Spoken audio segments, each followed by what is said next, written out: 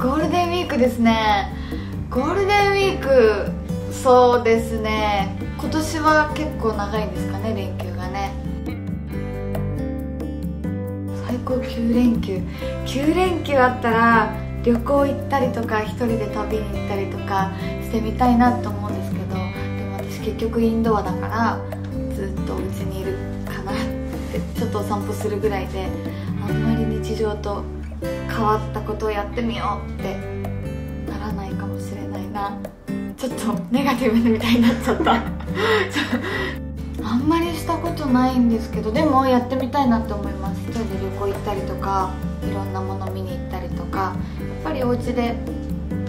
映画とか音楽を聴いたりっていうのもいいですけど生の何か景色を見たりとかするとまた自分に与えてくれるものって違う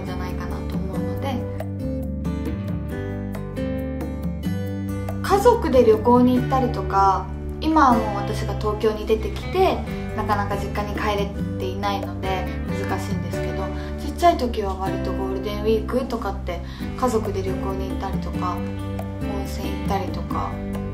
してた記憶があります。家族と過ごすっていうのがあるのでだから本当はやっぱ実家に帰って旅行とまでは行かなくてもちょっと家族連れてたらいいなとかご飯ごちそうできたらいいなとかっていうのを考